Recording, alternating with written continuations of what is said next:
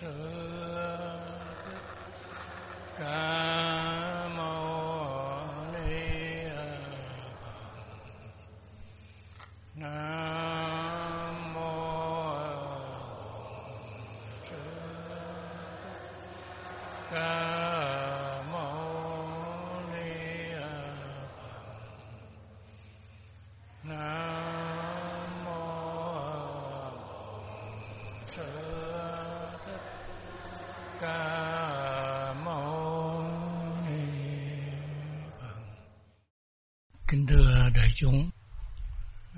trước thì ờ, thầy có giảng về cái ý nghĩa mà vô lượng nghĩa kinh. Và cho nên ờ, trong Phật giáo mình thì nó có hai cái phần. Cái phần thứ nhất người ta gọi là giáo, ờ, phần thứ hai đó người ta gọi là thiền. Cho nên phần thiền này là, là mang tính cách thực tập còn cái phần giáo là mang cái tính cách học thức. Nhưng mà cái quan trọng nhất ở trong Phật giáo chúng ta đó là cái vấn đề thực tập và tu chứng.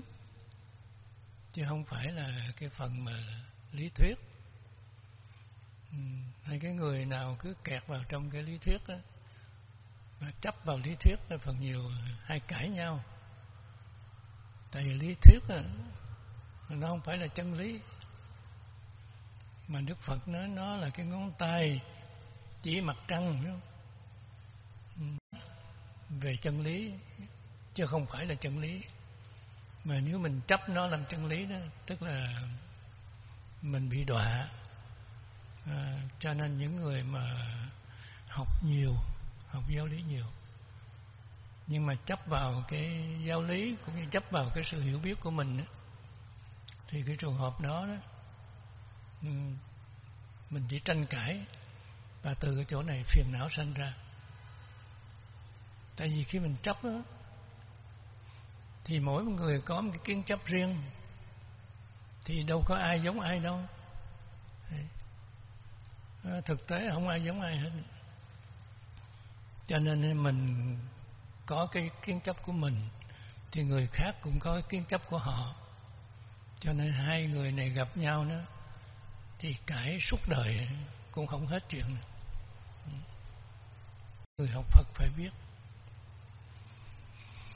Cho nên ngài xá lợi Phất là cái người thông minh. Trước khi mà đi theo Đức Phật á, thì ngài là một cái người mà hùng biện tức là không có một cái cái vị luận sư nào có thể cải qua ngài xá lợi phát hình đây là cái điều đặc biệt. Nhưng mà cái truyền thống của triết học ấn độ đó thì cãi nhau ờ, cãi nhau để rồi đó cái người mà thắng cái cuộc đó, thì làm thầy. Ừ, cho nên ờ, đây là đạo bà la môn. Cho nên ờ, ở trong phật giáo chúng ta các tổ thường hay dạy một câu nữa, là bà la môn tụ hội vô thù. Tức là gặp nhau là cãi. Cãi hết chuyện này tới chuyện kia. Dạy nên thì cái trường hợp, chúng ta cần phải cân nhắc cái chỗ này. Ừ, ngài sẽ là phất thì cãi không ai mà cãi qua ngài được hết. Nhưng mà khi ngài gặp mã thắng thì kheo là một người tu đắc đạo. Tức là không cãi. Ừ. nhưng mà tự nhiên ngài sẽ là phật cảm thấy sao cái vị này có một sức thu hút mình ừ, làm cho mình kính trọng. Ừ. làm cho mình kính trọng và đi theo ngài mã thắng. Ừ, thành ra về tới gặp đức phật thì ngài lại sanh cái tâm kính trọng hơn nữa, phải không? Ừ. Tức là ngài mã thắng không nói gì nhưng mà về tới gặp đức phật thì cái trường hợp đó, đức phật cũng chưa nói gì. Nhưng mà ngài sa là phật thì cái ý thức mà tranh cãi nó phật chúng ta không phải là cái đạo phật, là cái đạo mà tranh cãi. Ừ, lý luận, không có cái chuyện này. Ừ, mà chúng ta nghe, chúng ta suy nghĩ ừ, rồi chúng ta thực tập để có cái kết quả tại cái chính đức phật muốn là chúng ta phải thực tập và cho có kết quả. Cho nên tôi hồi còn trẻ đó thì cũng ưa tranh cãi. Ừ, tức là cãi cho nó ra cái lẽ của nó mà.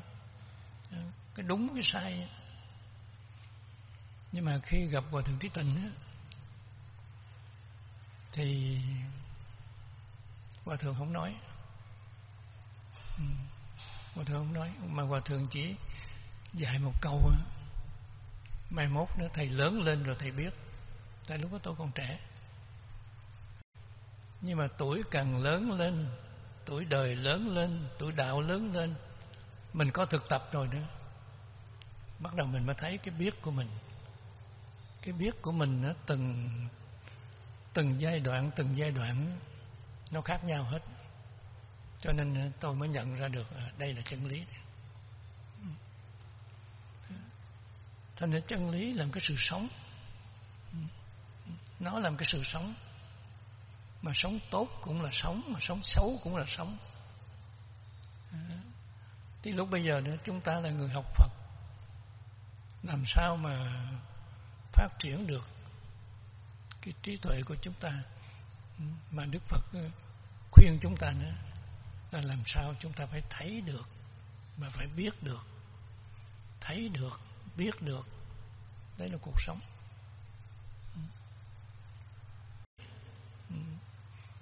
Thành ra chúng ta chưa thấy thì thường thường đó, chúng ta còn là mù. Mù cái này gì? Mù chân lý. Mù với chân lý tức là mù với sự sống của chúng ta này. Ta sống nhưng mà ta không biết ta, ta sống mà ta không biết được.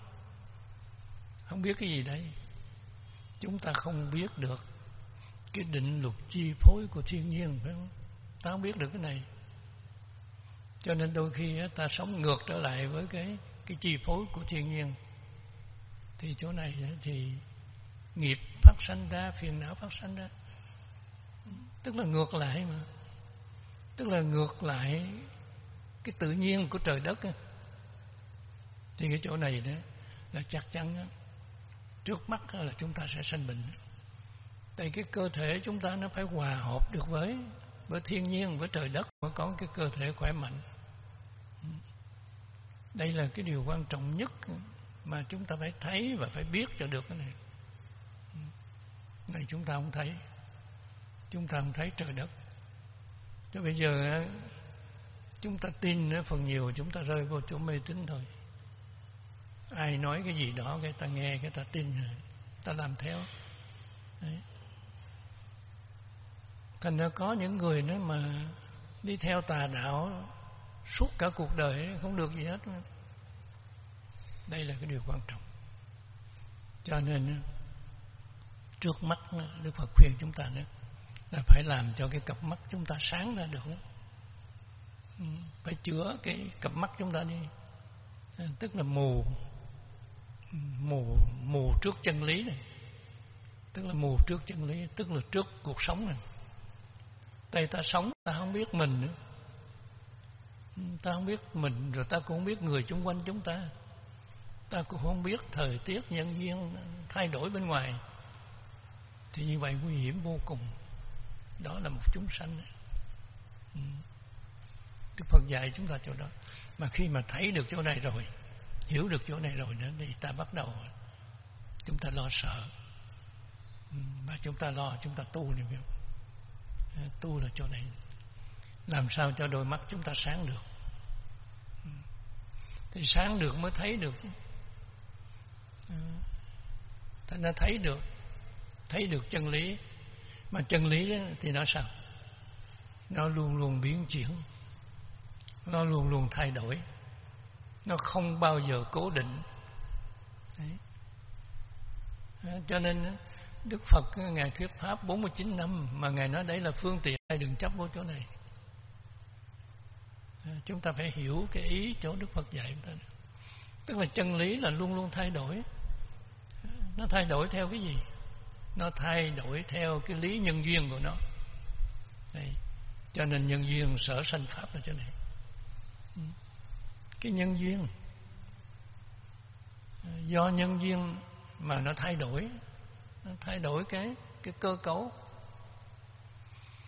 Cho nên bữa nay đó thì những người này là những người bạn thân với nhau. Nhưng mà có thể ngày mai đó là những người này sẽ chống nhau sẽ nói xấu nhau và sẽ hại nhau, phải không? Rồi hôm qua đó, cái người kia đó là có thể chống phá, nhưng mà hôm nay nó trở thành bạn, phải không? Cái này nhân duyên nữa nhân duyên này, chỗ này ta gọi cái hoàn cảnh. Ừ, cái hoàn cảnh nó thay đổi, cho nên cái tâm lý con người nó thay đổi luôn. Mà cái người bắt đầu tu đó, cái khởi đầu tu đó, Đức Phật dạy chúng ta quán cái tứ niệm xứ là cái này quán thứ niệm xứ này cũng là quán nhân duyên đây. Phải không? Quán thứ niệm xứ, tức là quán nhân duyên. Ừ. À, đó là một cái phương pháp để mà chữa cái bình mù của chúng ta đây à, các vị nhìn kỹ xem phải không? Ừ. Khi mà cái người nó nhiều tham dục quá này tham dục tức là ham muốn. Ham danh, ham lợi. À, rồi đó, ham ham sách phải không? Rồi ham ăn ham ngủ phải không? Đấy. Cái này nhiều ham muốn, tức là nó phát xuất từ cái chỗ tham này, ham muốn. Mà cái ham muốn này nữa là nó che mờ mắt chúng ta. Nó làm chúng ta mù trước thực tế cuộc sống nữa. đây là cái điều quan trọng. Các vị nghiệm kỹ lại thấy xem chỗ này cho nên đức phật dạy chúng ta khi mà quán tưởng chúng ta thấy được cái này rồi nữa để cắt cái lòng ham muốn của chúng ta đi. Mà cắt cái lòng ham muốn rồi đó thì chúng ta nhìn cuộc đời này nó sáng hơn và nó thực hơn. Ờ, tới cuối cùng mà chúng ta thấy được cái thực của chúng ta này. Thành cái thực này là gì? Ta là cái gì đây? Ờ, ta là cái gì? Ờ, rồi ta nên làm cái gì? Ta nên nói cái gì đây? Đây là điều quan trọng chúng ta phải thấy phải biết. Ờ, tức là tương đối chính xác hơn một chút. Còn khi mà còn lòng tham nữa thì chúng ta thấy theo lòng tham. À, gọi là đeo cặp kính màu lên hay là mù. À, mình bị mù đi vì nó che mắt cho mình cho nên mình tham rồi mình đâu có thấy đúng. À, tại vì cái này nó thiệt ra đó là nguy hiểm nhưng mà vì tham cho nên mình không không thấy được cái nguy hiểm.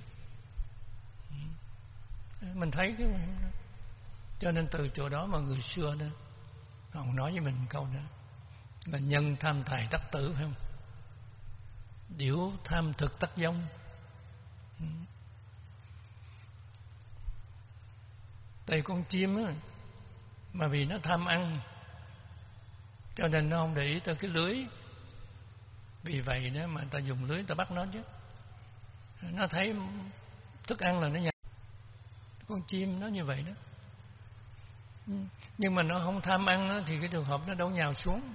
Nó không nhào xuống thì đâu mình lấy lưới mình bắt được. Còn con người nữa thì tại vì ờ, tham tài.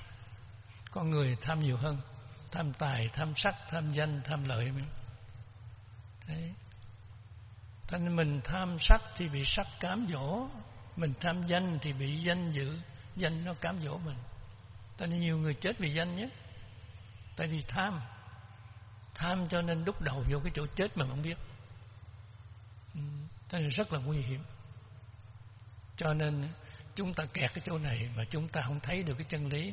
Mà chân lý đây là gì? Chân lý đây là sự sống. Ừ, nó là sự sống là chân lý sự sống của tất cả các loài chứ không phải riêng loài người chúng ta đâu. Từ nghìn xưa cho tới ngày nay mà cho đến nghìn sau đó là đức phật dạy chúng ta đấy. Cắt được cái lòng tham rồi đó thì chúng ta nhìn thấy cái sự vật tương đối chính xác. Rồi khi mà cắt được cái tham đó, thì từ chỗ này cắt được một cái mối nó rồi nữa thì cái bực tức chúng ta cũng mất theo. Tại vì tham cho nên mình bực tức tham cho nên mình mới bực tức, mới buồn phiền, mới thất vọng mới khổ đau đó. Cái này nó xảy ra cho ta chứ. À, nếu mà ta không tham thì thôi, sao? Ừ. Đây là một cái điều quan trọng nhất mà cái người phật tử chúng ta phải nên biết tại khi mà chúng ta tham là không đi vào thực tế rồi. Ừ. Thành là đức phật khuyên chúng ta phải nhìn thấy thực tế thấy đúng sự thật của nó. Mà thấy đúng sự thật mà sống đúng với sự thật đó. thành ra tất cả các vị tu hành đệ tử của đức phật đó, mà chứng từ sơ quả trở lên nên chúng ta nhìn thấy họ sống. Thậm chí cho đến đắc quả la hán này nữa. Thì quý vị thấy đó, trong 1250 vị a la hán mà thường tùy với đức phật đó, có vị nào giống vị nào không không có vị nào giống vị nào hết. Nhưng mà tất cả đều giống nhau một cái là giải thoát. À, giống nhau là là giống cái chỗ giải thoát. Còn mỗi người có một cuộc sống khác nhau chứ. À, nếu bây giờ chúng ta bắt là sống giống hệt với nhau hết không phải. À, thành ra mỗi một người có một cái hoàn cảnh riêng. Đấy hoàn cảnh riêng. Cho nên họ sống nhưng mà họ sống trong cái giải thoát tức là sống không có tham. Vì vậy đó mà ta cấm rồi. Họ thấy mình đó, là phải sống như thế này là đúng. Chứ không phải bây giờ mình lấy mình mình để mình so với người khác nó được. Tại vì mỗi một người chúng ta đây đó là đều có một hoàn cảnh khác nhau hết thì không ai giống ai. Tức là sức khỏe cũng không giống nhau. Và hiểu biết cũng không giống nhau phải không? Ừ, thành ra sức khỏe không giống nhau mà hiểu biết cũng không giống nhau. Ờ, thì làm sao mà giống nhau được? Cho nên ờ, ta sống với cái của ta thôi. Thì chúng ta được giải thoát. Cho nên khi mà còn làm nghiên cứu sinh đó, tức là đi học đó, thì quý vị biết đó, thầy là một tháng đến vậy là dưới mức mức nghèo khó rồi. Tại sinh viên thì thường thường là 100 đô la. 100 đô la. Nhưng mà bây giờ đó là vì thầy không có tiền để mà chuyển ngân. Cho nên à, giao cho một cái người à, họ có tiền thì họ chuyển qua cho thầy 100 đô la nữa thì thầy chỉ được hưởng 50 đô la thôi. Còn 50 đô la nữa thì giao cho cái cái người con của họ. Thì như vậy đó là cái anh sinh viên đó, mà con nhà giàu này đó là anh có được 150 đô la phải không? Còn thầy chỉ có 50 đô la thôi. À, thì bây giờ đó mình biết mình biết mình đây tức thì sống với 50 đô la này của mình á làm sao mà trong một tháng vừa tiền ăn tiền học hết này nè phải tính chứ. Mà sống với cái này đó thì thường mình cũng được an lạc cũng được giải thoát rồi không còn cái anh kia anh có 150 đô la nhưng mà anh, anh không sống thực với 150 đô la anh à, tức là anh sống trên cái mức có này đi không thực tế rồi. Anh nghĩ anh có nhà giàu mà có tiền đi. Cho nên ờ, anh mới lãnh được 150 đô la rồi nữa thì lúc bây giờ đó anh gặp người bạn ờ, rủ à, rủ đi lên thiên đường này.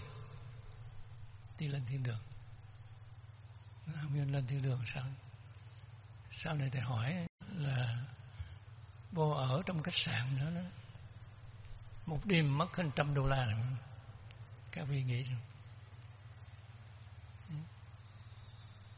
Học bổng có được có một trăm đô la mà ở trong khách sạn đêm mất hơn trăm đô la rồi. Đó, thành ra từ trong thiên đường mà đi ra đó trắng tay. Anh ta mới tới anh ta mượn tiền thầy ta hỏi. Anh nói một câu rất dễ thương. Ông tu, ông đâu biết xài tiền phải không? Ông tu, ông biết xài tiền. Đây, các vị thấy. Anh này, tại vì không thực tế, không sống với thực tế thực tế của mình.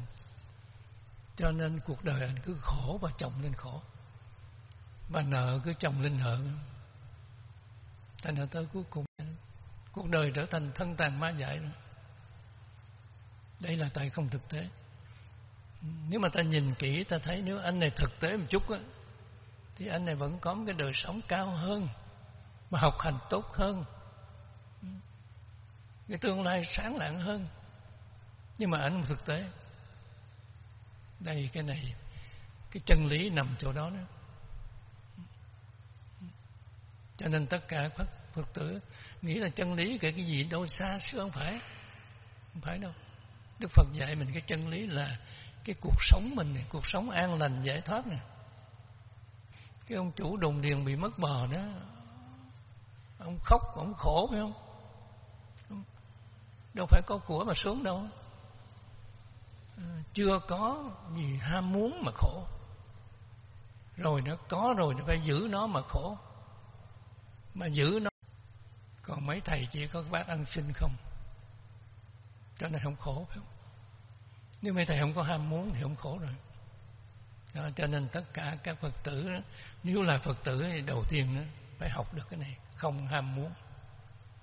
Mình không ham gì hết. Tức là sống với thực tế đi. À, còn hay khởi một cái ham muốn ham muốn bất cứ cái gì đó thì cũng có một cái khổ đi theo đằng sau nó đó mình. Ừ đây là cái sự thật. Cho nên cắt được cắt được. Cái ham muốn thì cái trường hợp này ra tự nhiên mình được an lạc được giải thoát. Ừ, sống trong cuộc sống này. Đức Phật đã dạy mình như vậy rồi.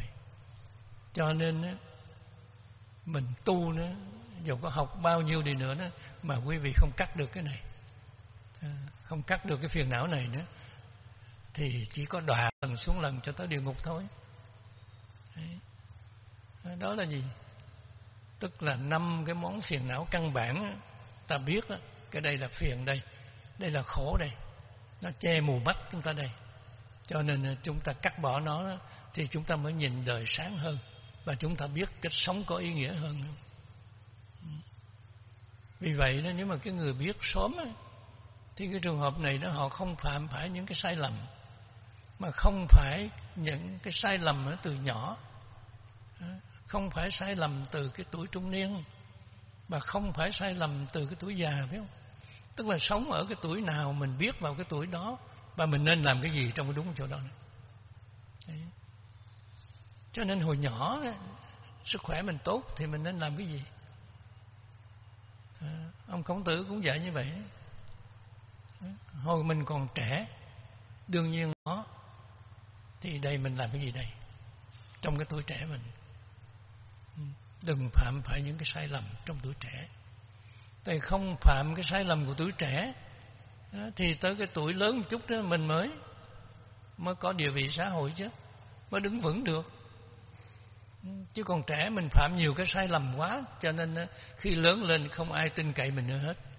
Không ai giao việc cho mình hết. Không ai muốn quan hệ với mình hết. Thì quý vị làm gì? Tức là gãi đổ ngay từ từ cái tuổi trung niên rồi. Ừ. Đây là cái điều quan trọng. Ta nói con đường đi lên mà ta gọi là nhân sanh, tức là con người mình. Từ khi sanh ra cho đến khi chết. Ừ. Ta nên nếu mà ngộ đạo, chứng đạo đó, thì chính nó là niết bàn đó. Ừ. Ở cái tuổi nào cũng ở trong niết bàn hết mà không biết thì nó là địa ngục không? Nó là địa ngục nó là khổ đau. Cho nên cái điều căn bản nhất mà Đức Phật dạy chúng ta là muốn tu nữa này. Ừ. Đó, tức là sáu cái món căn bản phiền não này nên mình phải đoạn. Sáu món đó gì? tham bực tức tức là giận. Ba là si mê. Ừ. Si mê tức là không thấy được không biết được cho nên trên bước đường tu chúng ta đó, cần phải cần phải học và cần phải thực tập. Học thực tập cho đến khi nào nữa mà ta nhìn người, ta biết người, ta nhìn việc, ta biết việc. Để hết cái si mê, cái này rất là quan trọng. Ta nên nhìn việc, ta biết việc. Biết việc là biết gì? Ta có thể làm được không? Biết cái này chứ. Tại ta hết tham rồi, mà ta làm cái này để làm gì? Đấy. ta làm cái này để làm gì đấy? Thành ra phải trả lời cho được cái này. Đó là hết si mê đây này. Cho nên ta nhìn người rồi. Cái người này có hợp tác được không? Cái người này có nên tiếp xúc không? Mà nếu tiếp xúc thì nói gì? Thành ra bữa trước đó, thầy có giảng thầy nói là khi có một người bà la môn tới hỏi đức phật, hỏi ngài có tin thượng đế không? Tại vì ông ta tin thượng đế. Ông bà la môn này tin thượng đế. Cho nên ờ, đức phật nhìn vô cái người này nữa thấy rõ ràng cái ông này tin thượng đế mà tin đến đến mê tín mà tin đến cuồng tín biết không? Cho nên ờ, nhìn thấy như vậy đó, biết ông này như vậy đó. Ừ, cho nên ờ, đức phật nó không đây. các vị thấy. Rồi ông này hỏi cái gì nữa, đức phật cũng không nói nữa. Tại ông tin tưởng. Đây đây là cái điều quan trọng nhất mà xử sự. Xử sự trong cuộc đời. Ông thứ hai tớ hỏi đức phật đức phật nhìn vào trong mắt ông ta, nhìn vào trong tâm ông ta nữa. Đức phật hiểu luôn, ông này là không tin tưởng đế nữa hỏi đức phật ông có tin thượng đế không? Đức phật nó có. Đơn giản vậy thôi. Ờ, đơn giản vậy thôi cái người này là cái người không thể tiếp xúc không thể nói chuyện. Không có lợi ích gì hết mà nói làm gì phải không? Đây, hai cái người này là hai cái người mà khác với chúng ta hoàn toàn. À, cho nên trên cái bước đường tu hành các vị nên suy nghĩ kỹ cho này cho nên chúng ta có bạn đồng học bạn đồng tu. Tức cái người có thể hiểu nhau được có thể cảm thông với nhau được có thể chia sẻ đổi cho nên chia sẻ thì có nhưng mà tranh biện thì không. À, nên tất cả mọi người tới muốn tranh biện với Đức Phật Đức Phật có nói đâu không nói. Tại Đức Phật không có tranh cãi với ai hết. Ừ. đây là cái điều quan trọng nhất mà ban đầu chúng ta phải phải thấy. Tức là nhìn người phải biết người. Biết người này chứ phải biết rõ người này.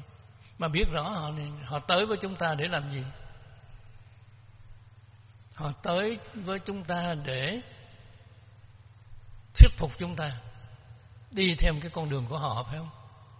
Mà con đường của họ chúng ta có biết luôn đó là có nên đi không? Con đường này con đường chết mà phải không? Đi theo con đường của họ là con đường chết này ta phải thấy và phải biết cái chỗ đó. Đây đức phật gọi là chân lý đó. Chứ không phải chân lý là cái gì xa đâu. Tức là sống làm sao mà đúng sống làm sao mà có ý nghĩa sống làm sao mà có lợi ích chứ. Phật là sống vậy nên Phật có trí tuệ là vậy đó. Gọi là Phật thấy chân lý là thấy chỗ đó, đó. tức là thấy cái gì? Thấy người biết người thấy người biết người rồi biết thêm mình có thể giúp họ có được gì không? Để biết được, giúp được thì bây giờ mình mới giúp cho nên cái căn bản của đạo Phật chúng ta đó à, thành ra Phật giáo nguyên thủy, người ta chỉ tu chừng đó thôi. Mà người ta đạt được cái kết quả như vậy rồi đó, thì người ta có một đời sống phải nó đẹp, dễ thương. Không tranh cãi gì hết thành ra người Phật tử mà tu theo nó Phật giáo nguyên thủy à, họ áp dụng cái phương thức hành trì này của Đức Phật. Thì đương nhiên họ là người Phật tử tốt rồi và bây giờ này à, chúng ta tu pháp này tu pháp kia. À, nên thầy quan hệ với nhiều hòa thượng mà ở bên Phật giáo Nguyên Thủy thầy thấy rất là hay. Cho nên mình với họ không có khác nhau. Tại chỗ này đó thầy cũng tu như vậy. Thầy cũng phải thực tập thiền quán để thầy biết người chứ biết người biết việc chứ. Tại vì không biết việc này, này nguy hiểm lắm. Ừ, phải biết. Biết là nên làm cái gì đây? Ừ, nên làm cái gì đây? Hay là không nên làm? Ừ. cái việc mà không nên làm mà mình làm thì nhất định thọ nạn thôi. Ừ. Cho nên tất cả các vị a la hán vậy tại họ thấy không thể làm được phải không? Thương người thì có nhưng mà không thể làm được mà đi ra làm thì chết không? Không lợi cho mình mà cũng không lợi cho người nữa. Thì cái này không làm đâu. À, giữ tâm cho thành cho nên lần lần nữa mà cắt được hết sáu cái món phiền não căn bản thì chúng ta nhìn đời tương đối chính xác rồi nữa nhìn đời chính xác ta có thể làm được. Người ta không bị ai dụ mình nữa. Ta nên ta nhìn ta thấy cái tướng của nó, ta nhìn ta thấy, cái mắt của nó, ta nhìn ta thấy được, cái tâm của nó, ta biết nó là không tốt rồi. Mà ta đi theo nó thì đương nhiên ta bị lừa đảo rồi.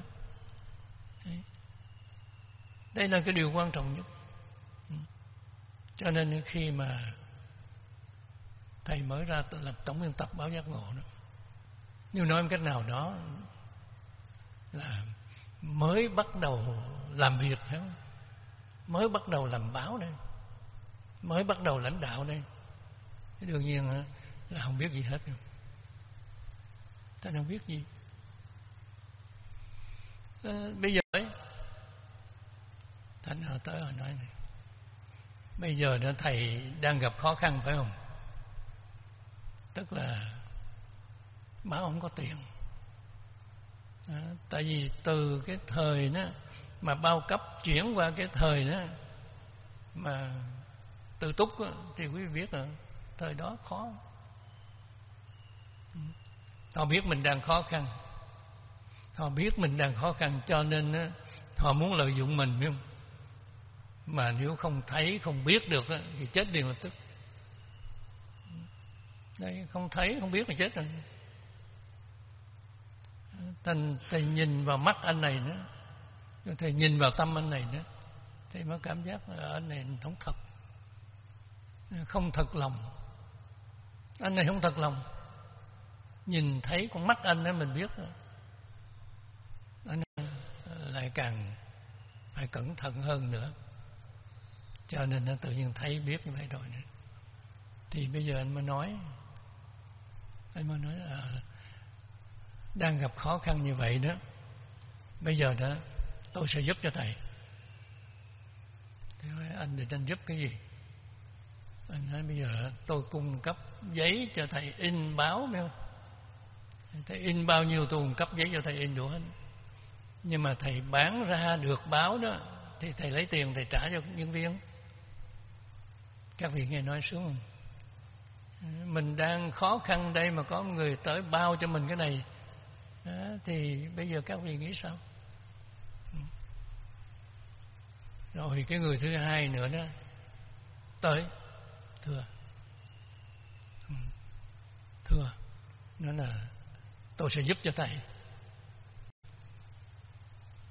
À, anh ta mới nói nữa thầy in ra bao nhiêu báo đó tôi sẽ bao tiêu hết cho thầy. Các vị thấy xuống không? Một anh nữa thì cho giấy để mình in khỏi phải trả tiền.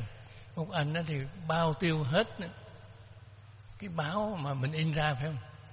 Thôi ra làm báo như vậy thì sướng quá rồi làm xuống nhưng mà sau đây nhìn cái anh thứ hai này nữa à, thấy thấy cũng không đáng tin cậy nữa.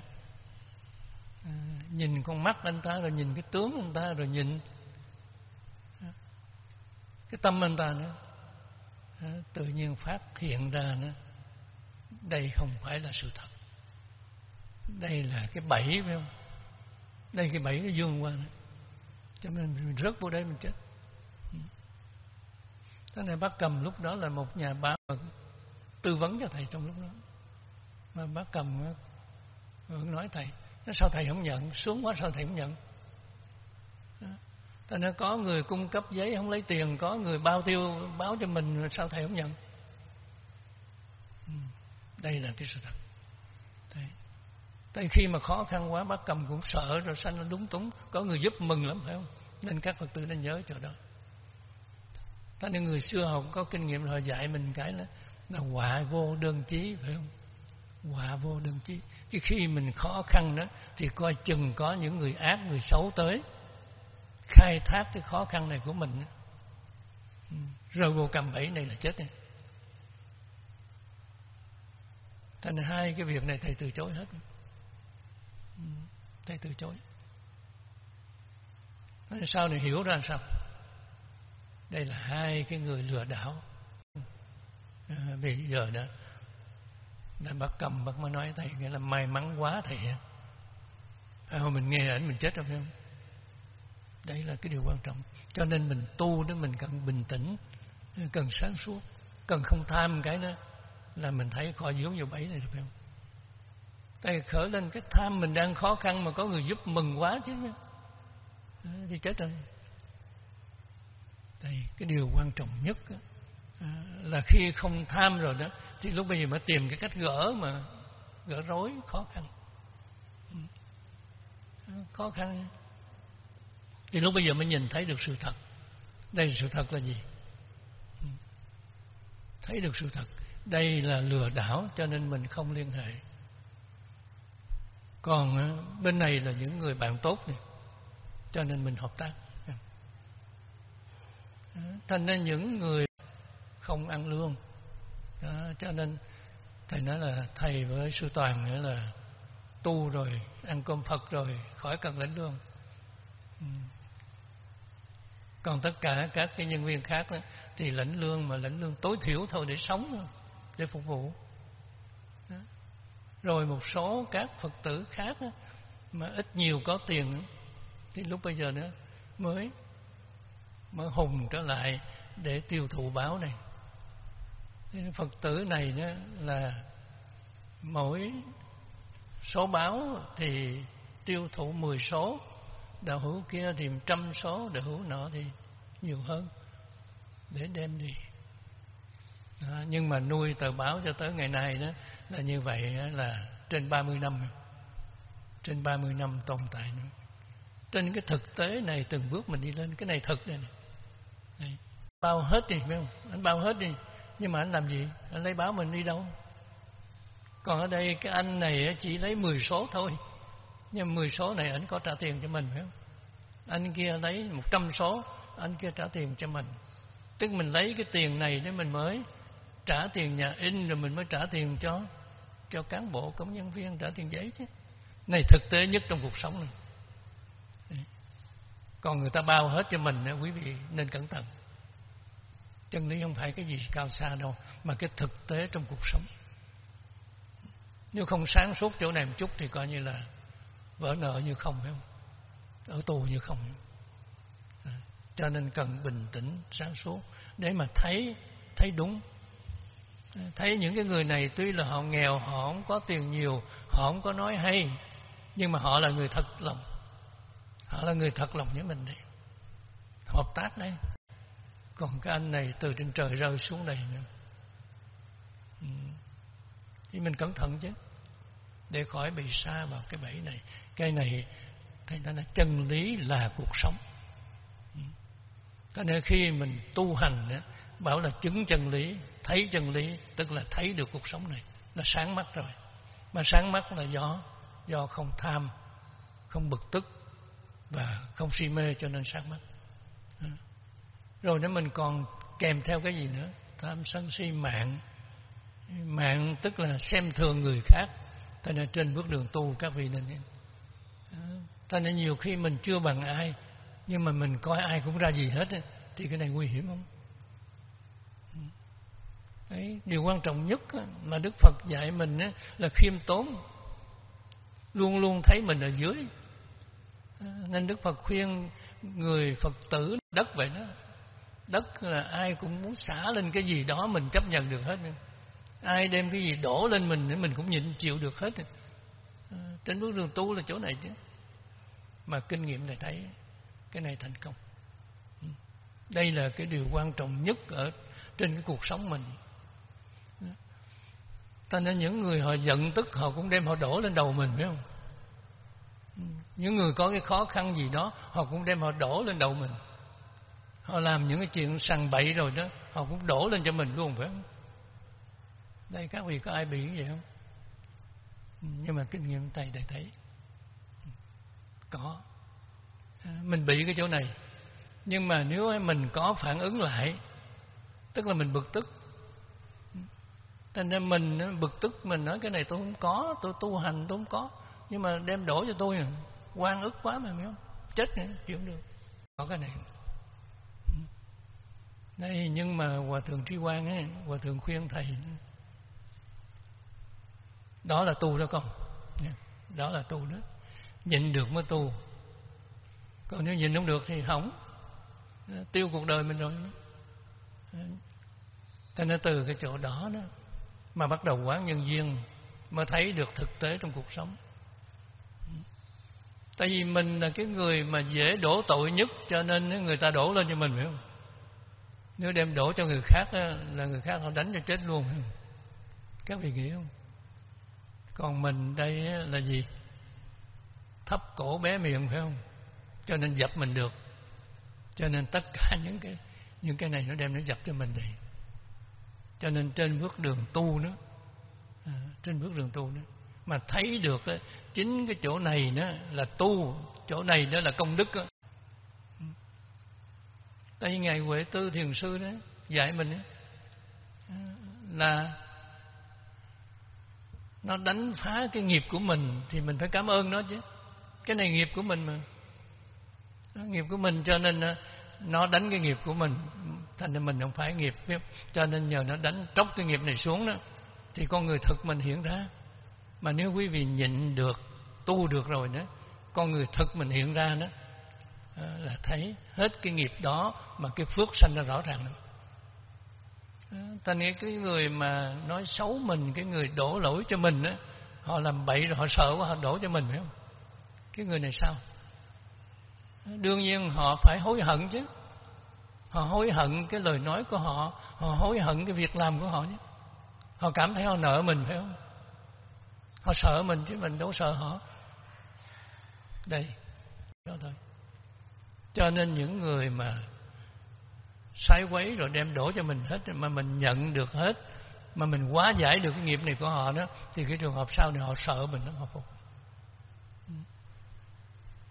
Cho nên những người mà khinh chê, mắng chửi, mà những người mà nói xấu đủ điều hết ấy, thì cái khi mà thầy đi du học tốt nghiệp xong rồi đi về làm việc á tới chừng những người này đó họ sợ chứ phải không? Ừ. Tới chừng họ thân tàn ma dạy rồi đó họ nhìn họ thấy mình họ sợ chứ. Thành nên nhờ tu. Nhờ tu. Cho nên nếu mà mình không tu đó mình tay đôi với họ đó là họ dập mình chết trước rồi.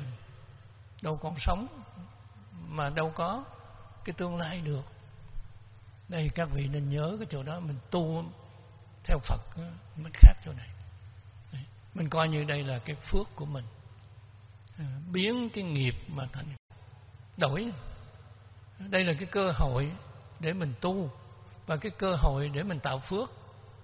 À, tạo phước là mình nhận cái lỗi của người khác. Phải không? Mình nhận cái lỗi người khác.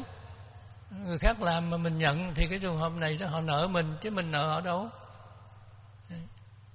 Mình đừng nợ người ta. Mà người ta nợ mình á thì mình là chủ nợ mình sướng hơn phải không? Tên là Đức Phật Ngài mới nói Tất cả những người đệ tử mà chết sống với Ngài Những người này là đều nợ Ngài hết. Ngài là chủ nợ Còn tất cả những người này đó là con nợ. Cho nên họ hết lòng với Phật Họ chết sống với Đức Phật đó, Là vì Đức Phật cũng đã từng Từng hết lòng với họ Và từng chết sống với họ trong những kiếp về trước rồi. Cho nên trên bước đường tu mình trong một kiếp mà mình cứu được một người trong một kiếp mà mình độ được một người tốt của mình trong kiếp tới kế rồi. Làm sao mà các phật tử tu đó mỗi ngày để mình thêm được một người bạn tốt thêm được một người bạn tốt đó, thì cái trường hợp này đó gọi là mình tu đúng pháp. Tại thêm được một người bạn tốt đó là mình biết mình đã tu được một cái tánh tốt của bên trong rồi tại cái cánh tánh tốt của mình nó mới chiêu cảm được người bạn tốt này. Còn cái tánh xấu của mình luôn luôn chiêu cảm những người xấu. Đấy. cho nên tất cả mọi người muốn có bạn tốt, nhưng mà bạn tốt bao giờ tới? Toàn là những kẻ lừa đảo tới. Còn đức phật thì cái trường hợp không cần cái này. Ngài không muốn. Ngài không muốn đâu. Nhưng mà tất cả những người tốt tìm tới ngài đó cho nên những người tốt tìm tới ngài, tại sao vậy? Thứ nhất là cái trí tuệ của ngài trí tuệ của ngài. Biết được cái cách sống. Biết được cái sống gọi là chân lý. Cho nên những người tới nương với đức phật để rồi mình cũng biết được cái cách sống giống như phật vậy đó. Sống với chân lý, cho nên được an lạc, được giải thoát đây là cái điều quan trọng. Cho nên đức phật chỉ dạy từng việc từng việc một. Cho nên tất cả những kia làm theo chứ cho nên đức phật gặp một cái người đó mà rất tốt. Có cái tâm là ưa bố thí. Ưa bố thí. Thì cái anh này anh bố thí bố thí bố thí cho đến cho đến kiệt quệ tài sản tiêu hết. Ừ, bây giờ anh mới tới với đức phật. À, đức phật nhìn thấy anh này là cái người tốt bụng. Nhưng mà à, nhìn thấy nhìn thấy cái quá khứ, nhìn thấy cái hiện tại, rồi cũng đoán được cái tương lai, anh này sẽ sẽ đi về đâu đây? Mình nghe lời người khác dụ dỗ mình làm rồi bây giờ nó mình tài sản tiêu ma hết rồi nó không ai chơi với mình nữa hết phải không? Mình bây giờ buồn phiền quá đau khổ quá. Cho nên quý vị biết đi đâu tức đi vào địa ngục phải không? Đây trên con đường tu tu sai một chút là không rồi vào địa ngục. Cho nên đức phật đó, mới khai ngộ cho anh này. Nói thế này bố thí là tốt nhưng mà nó có ba cái trường hợp khác nhau đây gọi là bố thí. Ít mà được phước nhiều. Phải không? Bố thí ít mà được phước nhiều. Bố thí nhiều mà được phước ít, phải không? Đây hai cái phước nhiều. Mà bố thí nhiều mà được phước ít. Cái thứ ba đó là bố thí nhiều mà tội nhiều, phải không? bố thí ít thì tội ít đây, cái điều này các phật tử nên suy nghĩ nhé. Cho nên mình bố thí mình giúp đỡ cho ai đấy. Cho nên ngài nói này, mình bố thí, mặc dù ít, nhưng mà được phước nhiều đó. Nên đức phần đó là, trường hợp như là kiếp tường thiên, cái ông này đó chỉ cho đức phật có một bó cỏ thôi, phải không? Để trải dưới cái gốc cây bồ đề ngồi, và đức phật tu hành đắc đạo cái này ít hay nhiều? Ít chứ phải không? Có bó cỏ thôi. Ông kia bố thí hết tài sản của mình, thì ông này chỉ có một bó cỏ thôi. Nhưng mà ông này đã phước nhiều. Ông kiết tường thiên, tức là vậy đó. Đi ở mướn.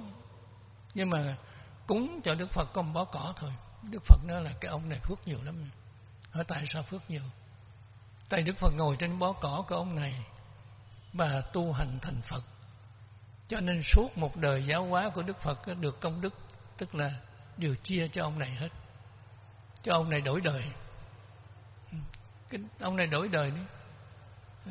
Rồi đó cái giáo pháp đức phật mà còn lưu truyền cho tới ngày nay đó thì cái này tiếp tục chia cho ông kiếp tường nữa. Phải không? Tức ông có đầu tư vô thì cái trường hợp ông có lãi chứ. À, cho nên ông sanh lên trên trời rồi mà ông này đó là đời đời hưởng phước không bao giờ hết, không bao giờ xuống. Mà tại sao vậy? Là vì giáo pháp đức phật còn truyền bá thì ông vẫn được chia phần lời, phải không? À, cho nên này gọi là bố thí ít mà được phước nhiều đây.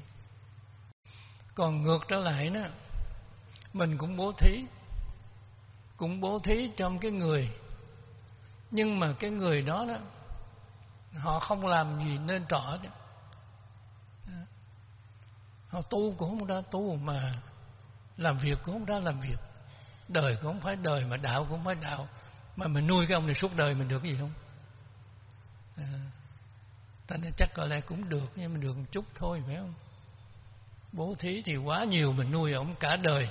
May ra ông được tiếng cảm ơn là nhiều phải không? Ông còn cái gì đâu ông giúp mình. Ông còn gì ông trả ơn mình. Cho nên phước mình đâu. À, đây là cái điều quan trọng nhất. Cho nên phải nhìn người. À, phải nhìn người. Cái người này họ tu nếu mà họ khó khăn quá này mà mình chỉ cần giúp họ một chút xíu thôi họ thành đạt. Thì cái trường hợp này là ơn đây Thực ra đó Đức Phật nói họ đang khó khăn như vậy đó nhưng mà nhờ họ khó khăn đó họ tu. Nhưng bây giờ quý vị đem cung cấp cho họ đầy đủ quá đi họ hết tu phải không? Nó còn tu đâu lo hưởng phải không? Lo hưởng thì hết tu rồi. Thì cái này sao? Tức là mình hại họ chứ. Mình lo cho họ đầy đủ hết, để rồi họ không tu nữa, là mình phá cuộc đời tu họ. Cho nên cái này làm sao có phước? Cho nên thành quả. Vì vậy đó mà nhiều khi đó mình rước một cái cái người như vậy về mình nuôi cả đời mình đi nữa. Tốn bao nhiêu tiền của? Mà họ trở thành người ăn hại rồi. Ờ, thì họ người ăn hại, thì họ hại mình, hại giá mình rồi. Nguy hiểm. Cho nên trên bước đường tu đó ờ, thanh định đức phật biểu nhìn lại xem, tất cả những người mà ông đã từng bố thí, đã từng cúng dường, đã từng giúp đỡ đó, người nào ra hồn? Không thì trong hôm nhìn thấy biết rồi, cái này là chuyện sai. Cho nên là tất cả tất cả các phật tử chúng ta phải có trí tuệ. Cái điều quan trọng nhất phải có trí tuệ, phải nhìn thấy chỗ này. Ờ, chân lý là chỗ đó đó. Nhìn thấy cái người này mình chỉ giúp họ một chút thôi họ thành công. Nhiều khi mình chỉ cần giúp họ một lời nói thôi mà họ thành công họ mang ơn mình phải không? Còn nhiều khi mình giúp họ hết cả tài sản của mình nhưng mà họ phá sản thì cái này sao? Thiếu trí tuệ. Đây, trên bước đường tu của chúng ta cái điều quan trọng nhất à, tu à, là nói cái chân lý xa thầy không nói vậy. Nhưng mà cái chân lý là cuộc sống này. Làm sao trong cuộc sống này đó mà mình sắp xếp cho nó nó ổn và nó đẹp? Ừ, thì như vậy đến từng bước đó, nó đã nâng lên. Tức là chân lý là sự sống trong hiện tại. Nó diễn tiến trong tương lai. Tại bây giờ nếu mình sống mình thấy chân lý rồi nên sống như vậy nên làm như vậy. Thì như vậy nó đúng rồi cho nên cái diễn tiến nó tốt.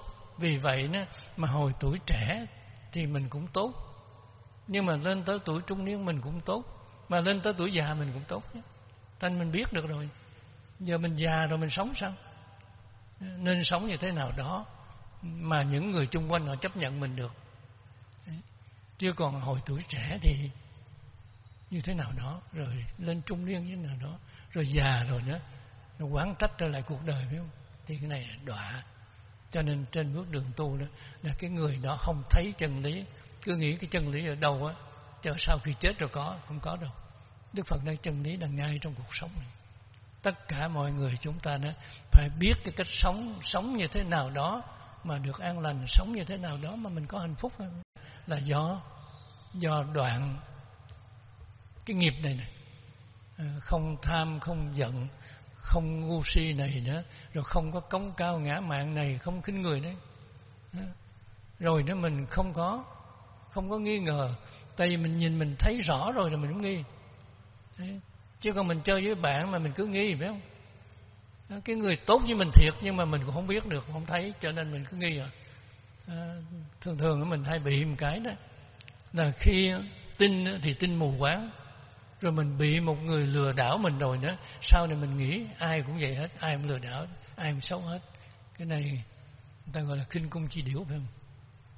Tại con chim á, mà nó bị bắn một lần rồi nữa nó nhìn nó thấy cành công rồi nó cứ tưởng đó là cái đá thôi.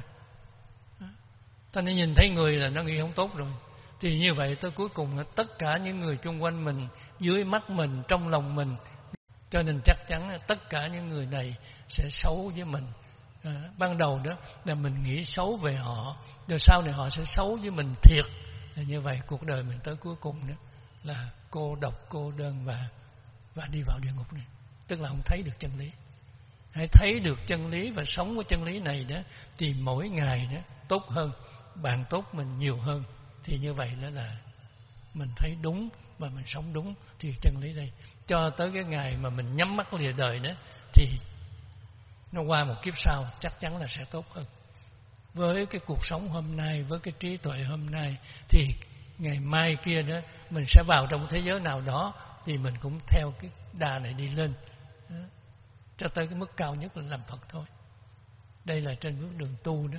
Các Phật tử nên cân nhắc cho đây đừng nghĩ cái gì mà xa xa vời lắm, mà trở lại với thực tế này tu, để cho nó có cái hướng mà tu hành từ cái Phật giáo nguyên thủy là căn bản đó, người ta làm nhiều đó thôi.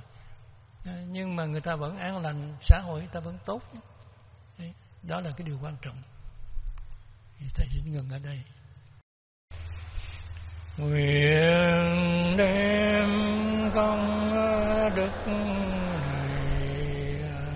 hướng khắp tất cả